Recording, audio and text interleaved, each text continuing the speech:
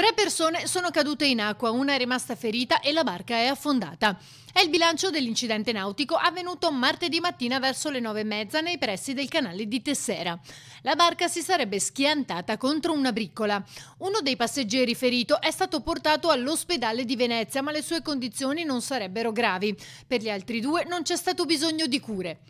Tutti e tre sono veneziani. L'allarme è stato lanciato dal pilota di un taxi acqueo che dopo essersi imbattuto nell'imbarcazione che stava affondando ha soccorso insieme ai conducenti di altre barche di passaggio le persone che erano cadute in acqua.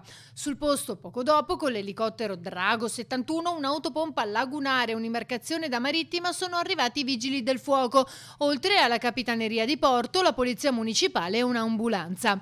Da una prima ricostruzione sembra che la barca sia affondata finendo fuori dal canale navigabile dopo l'impatto, ma su questo sono ancora in corso accertamenti da parte degli investigatori.